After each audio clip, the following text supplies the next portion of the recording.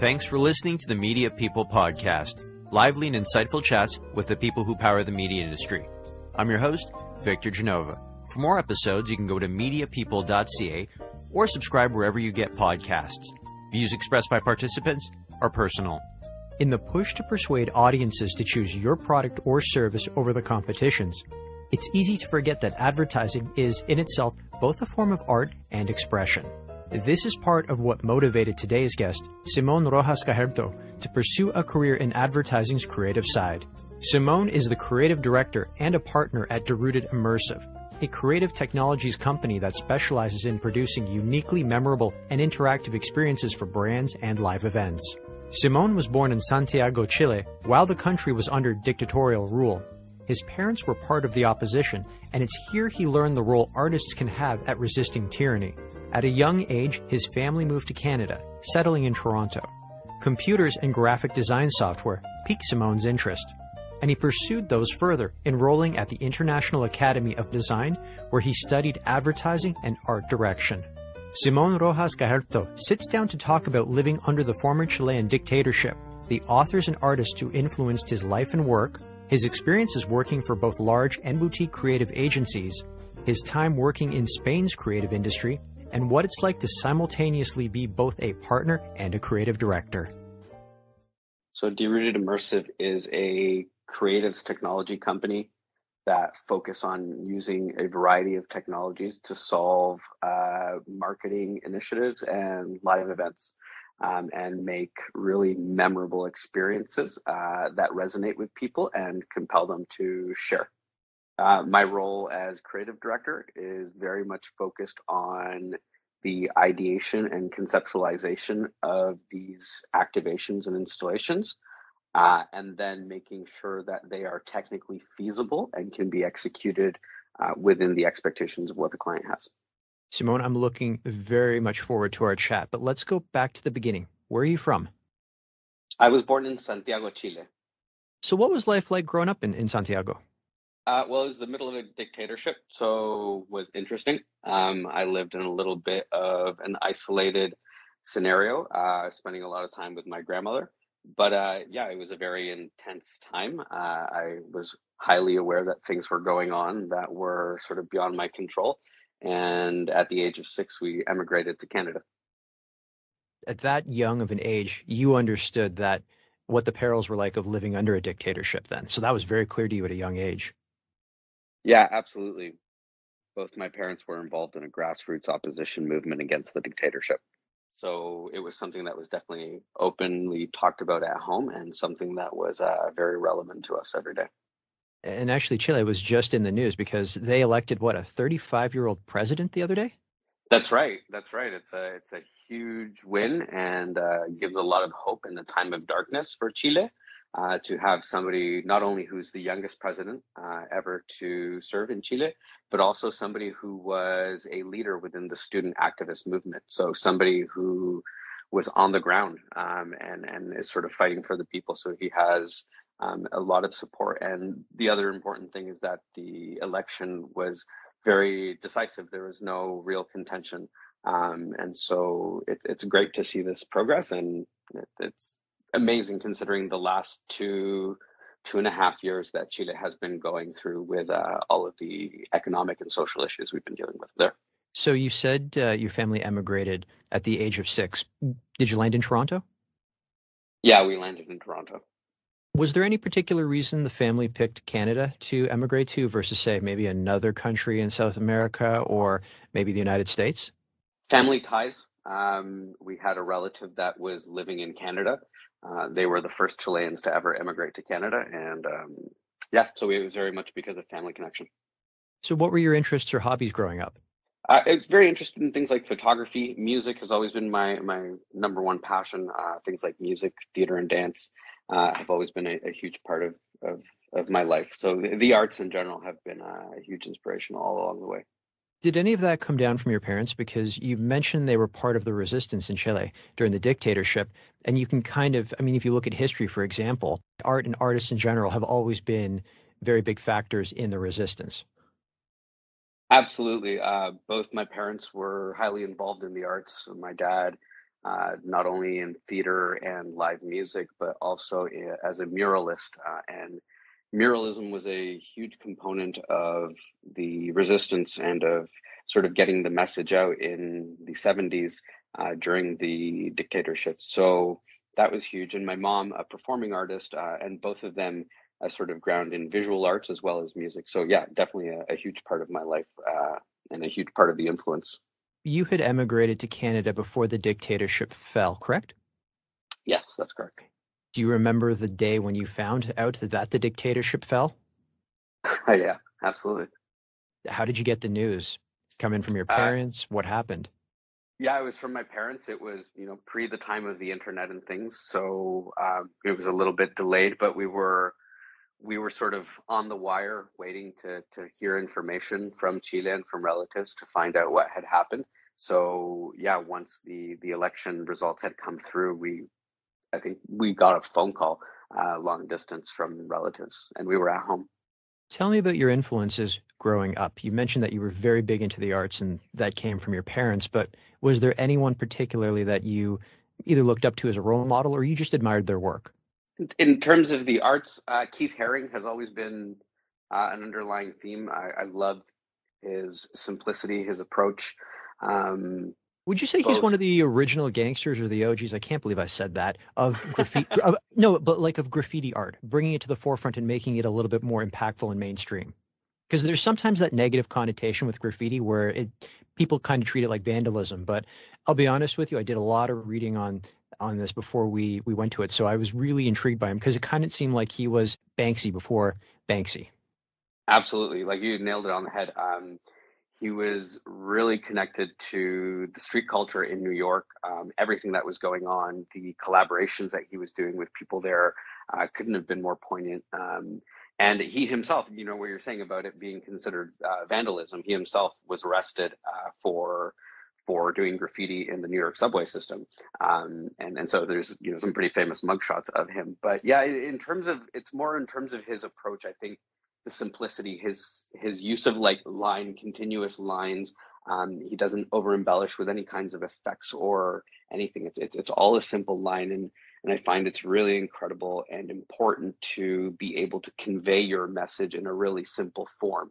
Uh, and I find Keith Haring is sort of, uh, an amazing example of that. An artist who's be able who's able to convey um, some really hard um, social issues. You know, everything that he dealt with in terms of being um, gay in in a time when that wasn't accepted very much, uh, and and everything that he dealt with. And so I think it's really important to look at what he was able to achieve with his simple approach to art. There's no real complexity in the way that it's executed or anything like that. And so that's what I really love about it. It's very grassroots and, you know, very much to the point of what Virgil would do with his art is to say, you know, the instructions are baked in how I do it so that anybody else can do it too.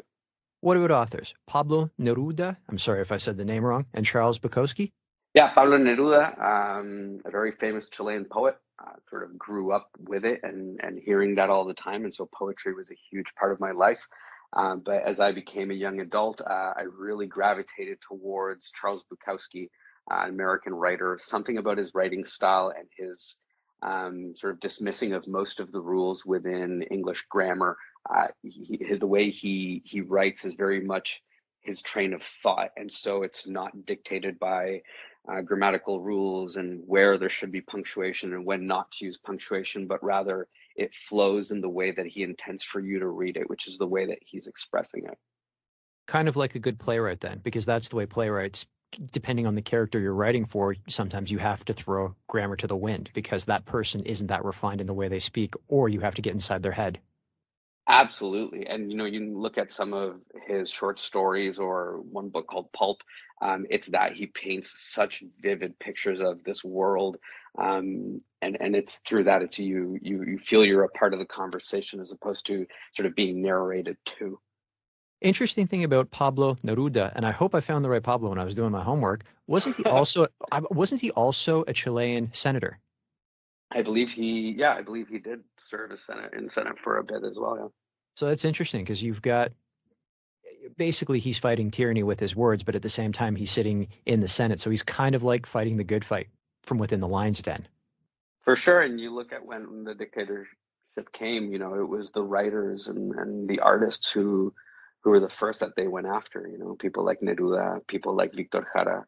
Uh, these are the people that they attacked first because they were speaking what what the the rest of the country was really feeling and saying. So let's bring it forward a bit. What was your very first job? Very first job was in retail, working at an outdoor sports clothing shop in a mall. Nothing just like ev- just like everyone else as a teenager, just doing part time work at a mall. what did you learn about yourself working part time in retail? Because I find that there are certain traits about retail, and, and the big one I throw out there is patience. Like you learn to really be, you learn whether or not you've got the patience or you need to learn to be patient just from dealing with people in retail. Yeah, for sure. I think the number one thing that I that I sort of took away from it was observation um, and observing what drove people's consumer decisions, what drove somebody to purchase one coat versus another coat, and things like that uh, and really sort of observing what were the characteristics that they were looking for, what were the sort of things that made them lean one way or another. Uh, and that was sort of the beginning of my interest in advertising and, and sort of the whole system of that. So, persuasion overall, if we had to kind of give an, an overarching term. For sure. So, after high school, you went to the International Academy of Art and Design and you studied advertising and art direction. Why did you pick that school and why specifically advertising and art direction? Specifically that school um, i knew of it. I had some friends who were going there as well. Uh, so it, it, it seemed good. It was also in an area that i wanted to be in in terms of the city uh, and where a bit of my social life was as well. So that that led to it a bit. Uh, and then in terms of the programs that were out there it was one of the programs, if not the only one, that was really hands on, where all of the instructors and professors had to be in the industry and so they were working at ad agencies making commercials and so you had a real hand experience with that. So that's why i chose that school. Advertising and art direction um, th- this choice came at a time when i was i've always been very sort of politically vocal or and sometimes active. Uh, came at a time that i really wanted to understand the mechanisms of propaganda the mechanisms of mass advertising, mass persuasion, uh, and and sort of what was being used to to sort of reprogram our sense of needs and desires. And it was really graphic design what you fell into more than anything else. Like if you had to kind of pick a specific discipline within the medium. Yeah, I definitely fell into graphic design. What I found is that in the world of advertising, as an art director, I was very quickly getting pigeonholed into three ad campaigns, radio spots, and sort of that traditional media. Uh, gra- uh, graphic design seemed to give me a title and a skill set that I could do anything. Where one day I was working on a three ad campaign, the next week I was working on a corporate identity package for a company uh, or a variety of different things. And so it allowed me to really dabble in the entire industry um, while really relying on my technical skills, uh, particularly in software, things like Photoshop and the the Creator, the Adobe Creative Suite, and leveraging those things to really sort of pick and choose what I wanted to do. What do you what do you turn to for inspiration? Because I've dabbled in the creative side of the media business as well. Definitely not on the level that you have, but I've found that sometimes you subconsciously might even be recycling the same idea, like putting a different coat of paint on it. So, what do you do to re-energize those creative bursts? To be completely honest, lately what I've been doing is getting away from any kind of stimuli. I'm really going to the forest, uh, disconnecting in the truest sense, and not getting bombarded with a bunch of different stimuli of different things that other people are doing. Uh, you know, one of the sort of dark sides of the internet and the creative world is that I find the process of gathering inspiration and getting to sort of that golden idea is a lot more reliant on visual references of things that have actually happened online that you can see other people have done. And so people are relying on what's already there. And inevitably, what happens is that you do end up recycling concepts and ideas and executions, whether yours or somebody else's, whether and whether you tweak them or not. But I think if you disconnect yourself from all of the stimuli and really just focus on concept um, and ideation and really the experience that you want people to have with whatever it is that you're putting out there um, you're able to do that in in sort of an area where you're not getting bounced back other forms of stimuli that are sort of the same of what you're trying to produce.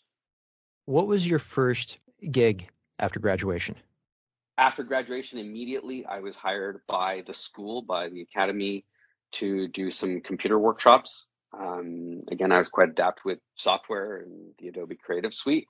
And then after that, I was hired by a small graphic design firm uh, in downtown Toronto, where I did a lot of work on books and magazines and publications and things of that sort, and corporate branding.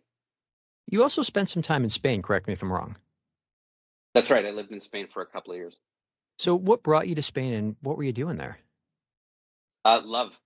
love brought me oh, okay.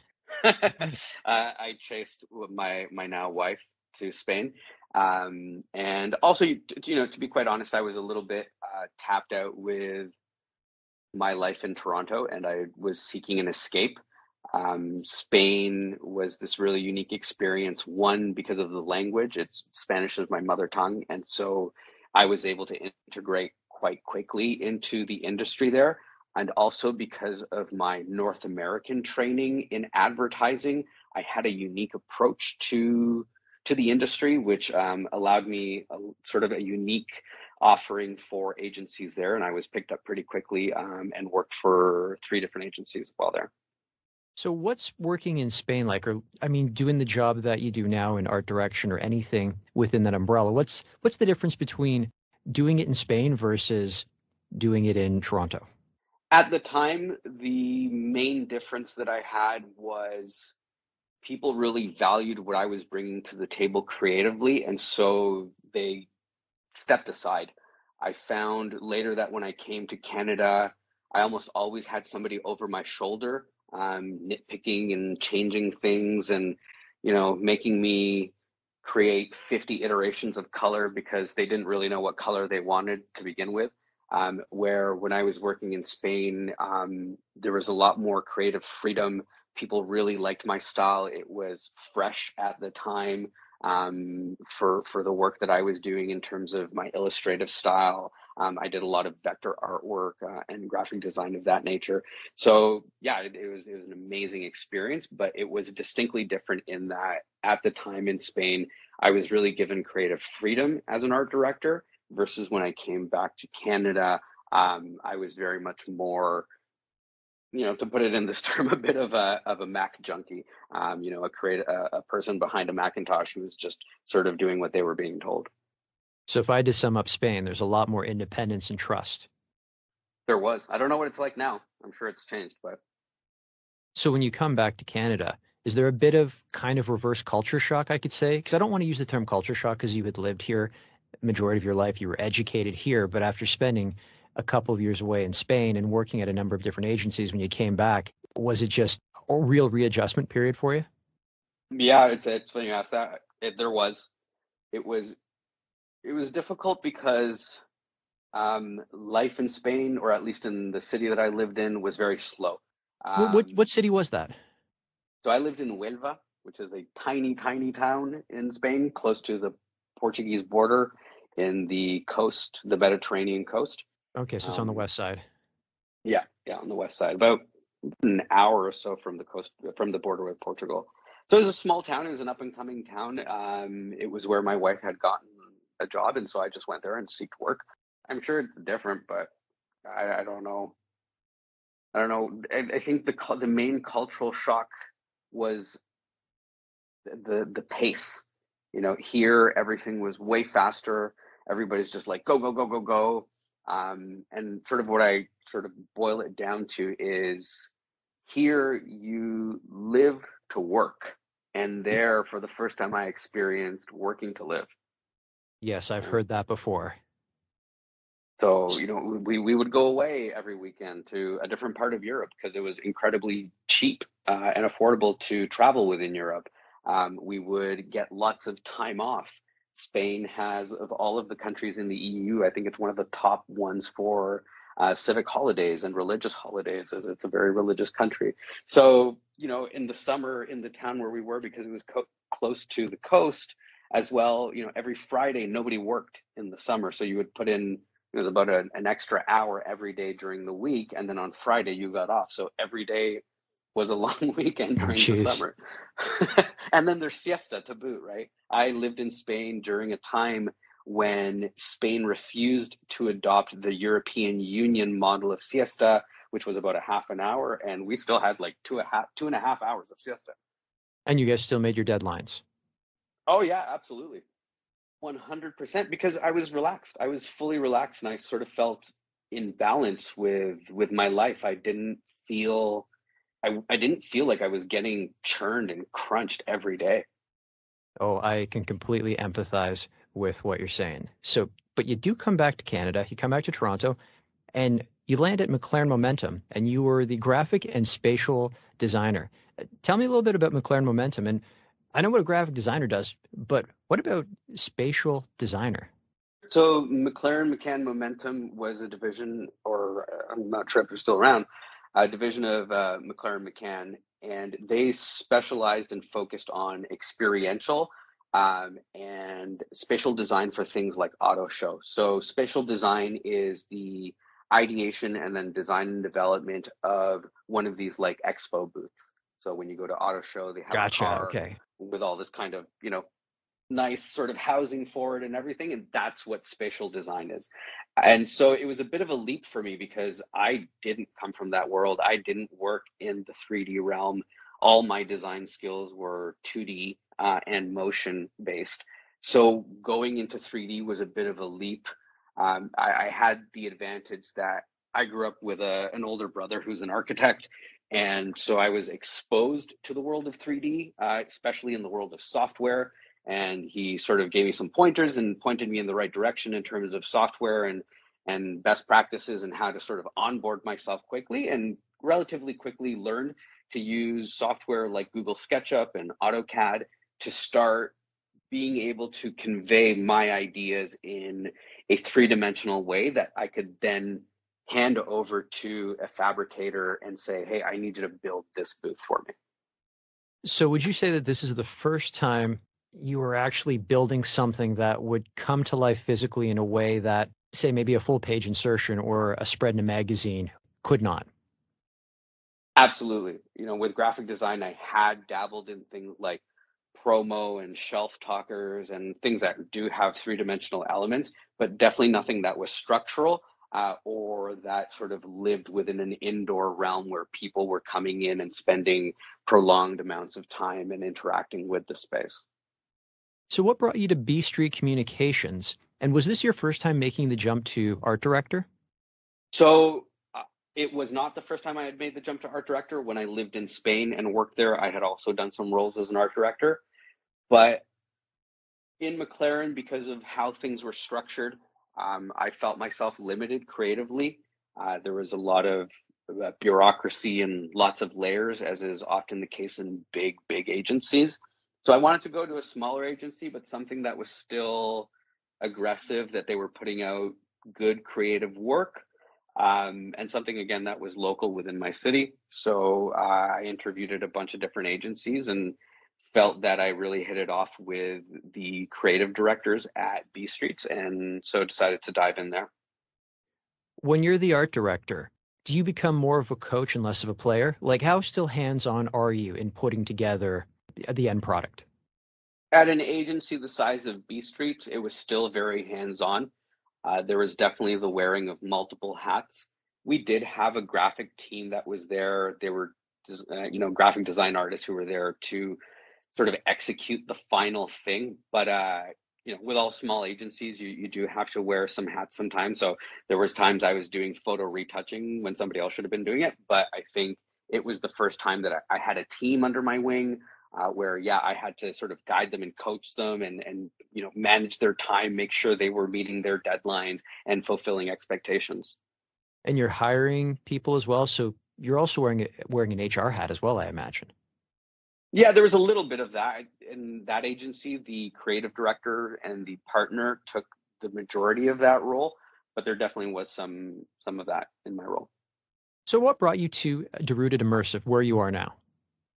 So it was around the time when there was all the economic problems uh, in the states, and then you know vis-a-vis in the rest of the world, where agencies were being hit really hard. Uh, you know, I was talking to my colleagues at McLaren, and almost every creative person was being let go, uh, and teams were sort of skeleton teams of creative people, but primarily salespeople. And what we sort of realized was that there was this opportunity to be small uh, as an agency, be aggressive because we didn't have to meet um, big agency quotas or mandates from partners and things like that. So my best friend and now business partner Amir and I decided that it was a it was a good time to sort of venture out on our own. You know, we I I had personally had a great deal of success with my creative approach to things and Amir had in his career as well. So we thought it would be a great opportunity to bring these two together and and put it out there and see what we could do. Let's talk a little bit about the hats you wear at Derooted. You're the creative director, but you're also a partner. Does being the creative director differ when you're also a partner? Yeah, 100%. You know, uh, the creative director at least most of the time should really be focused on ideation on the product that's being put out how it's going to be how it's going to come to light. You know what is the end goal and how we're going to achieve that technically and things like that. As a partner you're focused on operations and finances you know and getting calls from the tax man and dealing with the bank when they make mistakes and things like that. So it's not always a creative role. It's definitely not something I was ever trained in or ever thought I would really fall into in terms of the business side of things. Um, it's creative in its own way, but it's it's definitely a completely different hat with a different fit. Simón, this has been fantastic. I'm really enjoying our chat. Are you ready for rapid fire questions? I am. Go for it. All right. The campaign you are most proud of? I think what we did for Disney and Pirates of the Caribbean uh, was probably one of my favorite activations. I think the the limitations and the hurdles that we were going through in terms of time, permitting, and everything, it was just sort of like everything worked out so perfectly well. Everything could have gone wrong with one slight change in any variable, but it, it my our entire team really you know sparkled on this one and and showed what we're capable of doing. Um, even as a small, nimble team, we can produce world caliber stuff. And you know, Disney definitely echoed that when they when they put it out to the to the world. They got about two million hits in the first couple of uh, couple of days, and they came back to us and told us, you know, how happy they were with the success of the campaign. Your favorite movie? Blade Runner original. Ridley Scott all the way. Yeah, 100%. That, to me, honestly, that movie was my original vision for advertising uh, when I was young. I, that's what I thought advertising was all about was gigantic screens on facades of buildings, um, you know, images popping out and sort of almost holographically being presented in the sky. Uh, and it's incredible how realistically I've been able to follow that in my career and make some of those exact things come to life in, in, in the span of my career. Oh, I completely agree. I mean, modern cities, you can't see them now without the LED lights wrapped around the buildings. And like you said, the 3D, I don't think it's really 3D anymore, but I've been seeing some screens. I think it's primarily in China. People will throw them up on LinkedIn where it seems like it's wrapped around the building and it looks like the subway's coming into the station and then going right through you or whatever. It is yeah, pretty amazing how close it is. Forced, okay, so that's what the technical term is forced perspective. Yeah, forced perspective. Yeah, it's funny you bring that up. That's something we're getting a lot of requests for, and it's something where it, it's funny to try and educate people in the fact that it's not you know like we've had clients asking us what kind of screen they need in order to achieve this and we're telling them it's it's not about the screen. It's it's about the content. And you know the fact that you know when you look at all these youtube videos they're taken from one vantage point. The second that camera moves to another corner it doesn't look 3d it doesn't look as good right? And so it's that thing people people buy what they see you know off of a headline and they see it off of a post on instagram or whatever it might be. It looks three dimensional on that post and so they believe that it's holographic technology or whatever it might be. Your favorite video game? I don't really play video games but uh the one that i did enjoy and i kind of continue using sort of as a, a philosophy of life especially when it comes to packing for travel is tetris if Hollywood were to make a movie based on your life story, who would you want to play you? Nobody.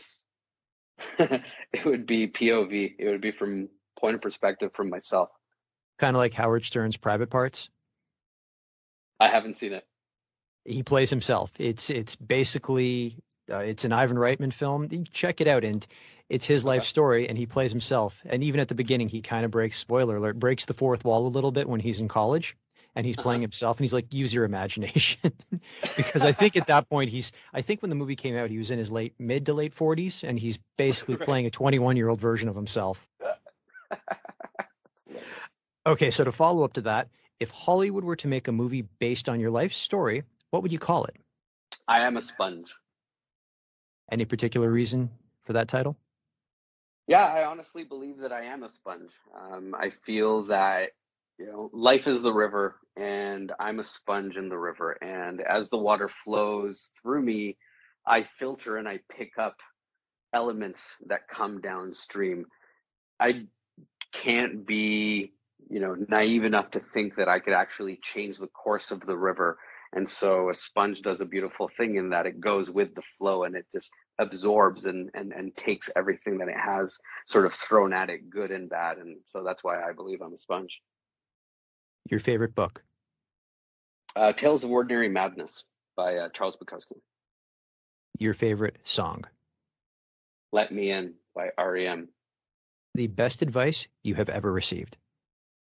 Don't ask for permission, ask for forgiveness. I'm on the sales side and I hear that quite a bit.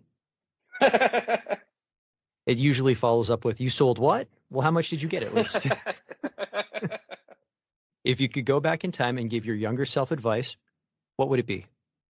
Travel, travel a lot, be a nomad, sort of wander through nature, explore a lot more before other responsibilities come into play. My signature closing question If you weren't in media, what would you be doing and why? I think I'd be in music. Music has always been my first love.